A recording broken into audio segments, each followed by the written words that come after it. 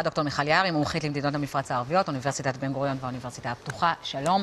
מה, קבלת הפנים שהם מתכננים לו בסעודיה היא צנועה. מאוד משפילה. מי שמחכה לו, לפי הדיווחים בכל אופן, זה סגן מושל ריאד. דרך אגב, זה אפילו יותר גרוע ממה שהיה לאובמה. כשאובמה מגיע לשכנע את הסעודים שהסכם הגרעין הוא לא כזה נורא, והוא היה מאוד נורא בעיניהם, מי שמחכה לו זה מושל ריאד. לא משדרים את הביקור של אובמה אז בטלוויזיה הממלכתית, ובעצם הייתה קריקטורה נורא יפה שמראה שהאדם היחיד שחיכה לאובמה, האיש הכי חזק בעולם בשדה התעופה, זה דחליל.